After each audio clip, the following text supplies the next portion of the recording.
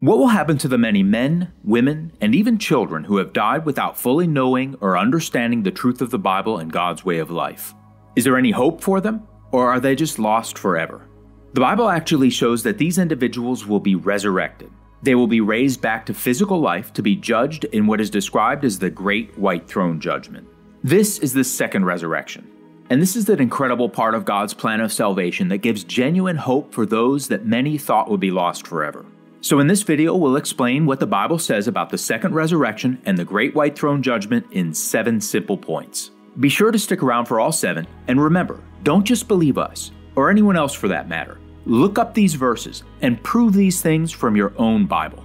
The second resurrection and Great White Throne Judgment are mentioned in several places in the Bible. The most notable place is in Revelation 20, verses 11 through 14. The Apostle John wrote what he saw in vision. I saw a great white throne and him who sat on it. And I saw the dead, small and great, standing before God, and books were opened. And the dead were judged according to their works by the things which were written in the books. The sea gave up the dead who were in it, and death and Hades, or the grave, delivered up the dead who were in them, and they were judged, each one according to his works. Point number one this is clearly describing a resurrection. Note that it says, I saw the dead, standing before God, and the dead were judged, and death and Hades, or the grave, delivered up the dead, and they were judged. This clearly shows that the dead will be resurrected back to life for judgment. Point number two the second resurrection occurs 1,000 years after the first resurrection. The first resurrection is described a little earlier in verses 4 through 6, which says, I saw thrones, and they that sat on them, and judgment was committed to them and they lived and reigned with Christ for a thousand years. Verses 5 and 6 clearly explain that this is the first resurrection, and says, Blessed and holy is he who has part in the first resurrection. But notice the beginning of verse 5. It says, But the rest of the dead did not live again until the thousand years were finished. Clearly, there are two different resurrections described here. Faithful Christians will be resurrected at the beginning of the millennium when Christ returns, which is the first resurrection. But the rest of the dead will be raised to life at the end of the thousand years at the second resurrection. Point number three this is a resurrection back to physical life. Those who are raised in the first resurrection will be raised as immortal spirit beings with eternal life.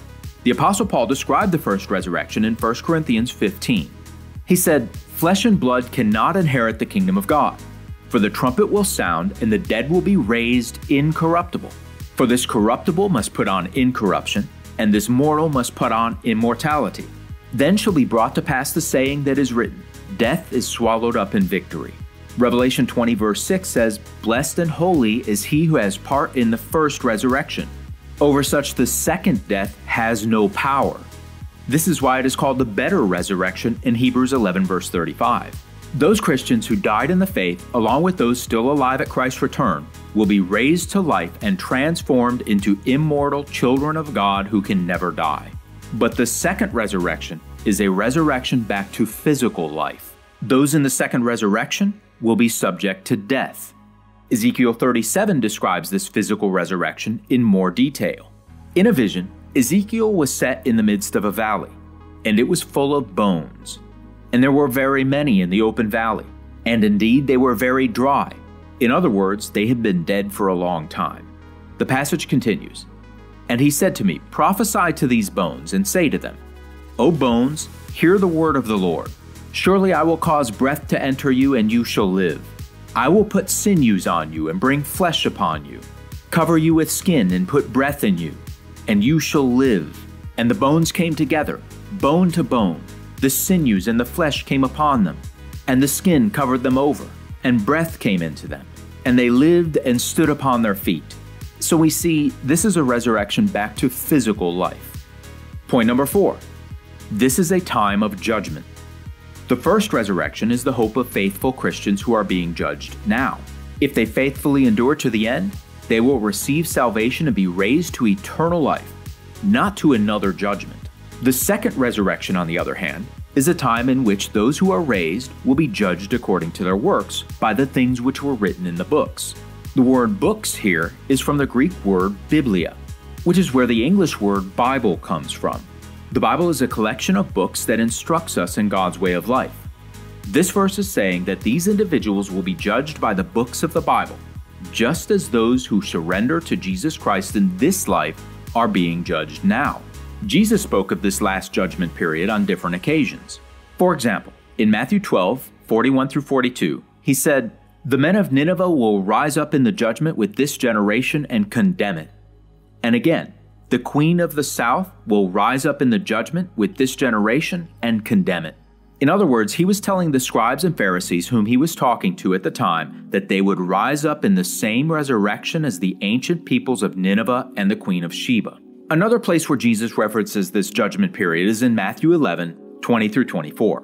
There he rebuked the cities in which most of his mighty works had been done, because they did not repent, and said, It will be more tolerable for Tyre and Sidon in the day of judgment than for you. Then speaking to the people of the city of Capernaum, he said, It shall be more tolerable for the land of Sodom in the day of judgment than for you. Here we see that the ancient wicked peoples of Tyre, Sidon, and Sodom will be raised in the same judgment period as the peoples of Jesus' time. Point number five the second resurrection is for all who have ever lived, yet who died in sin and ignorance of God's truth and his way of life. This includes the vast majority of mankind throughout history. Most human beings have lived and died without even hearing the name of Jesus Christ. Others may have only heard a false gospel about Jesus. These people will have their opportunity for salvation during the Great White Throne Judgment. As already mentioned, the first resurrection will be made up of faithful Christians who surrender to God and Jesus Christ in this life. But most have lived and died without a genuine opportunity to know God's truth, accept Jesus as their Savior, and live God's way of life. Their time for salvation will come at the second resurrection. Point number six this is not a second chance. These resurrected masses will have their first genuine opportunity to know Jesus Christ and decide to repent and accept Him, or go their own way. The fact is, God is simply not calling everyone to Jesus Christ in this life. Jesus Christ said, No one can come to me unless it has been granted to him by my Father. This is one reason why the vast majority of mankind, both now and throughout history, have not truly known or obeyed God and Jesus Christ. But God is fair, and he is not a respecter of persons.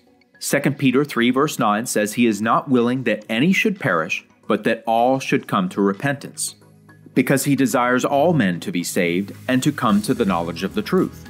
At the time of the second resurrection, those who were not called in this life, including the peoples of Jesus' time as well as those of Nineveh, Tyre, Sidon, and Sodom, will be raised up and have their minds open to God's word and his way of life.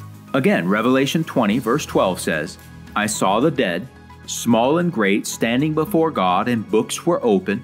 For the very first time, the books of the Bible will be opened to their understanding. And the dead were judged according to their works, by the things which were written in the books. They will certainly be found guilty for the sins of their previous life, as has been the case for all of us but they will have the opportunity for forgiveness through the blood of Jesus Christ and repentance from their old ways to God's ways. The second resurrection is designed for this purpose. Now, God will not rob mankind of free will and the ability to choose, so some may refuse to accept Jesus Christ as their Savior. But God will be sure to give each and every person who has ever lived a fair chance for salvation.